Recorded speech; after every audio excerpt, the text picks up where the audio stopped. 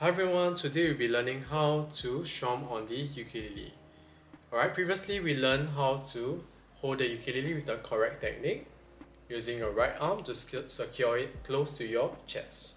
Okay, next, using your right hand, alright, your wrist should be loosened up and free to rotate up and down.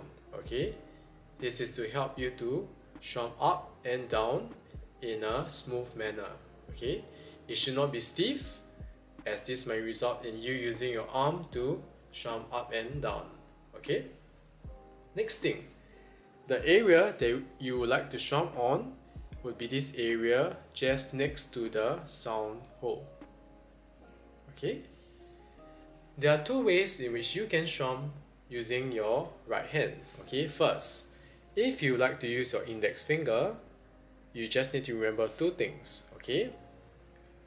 Nail down using your top part of your nail and flash up. Nail down and flash up. Okay, this is how you strum with your index finger. If you like to strum with your thumb, it will be the other way around. So, flash down and nail up. Flash down and nail up. Okay?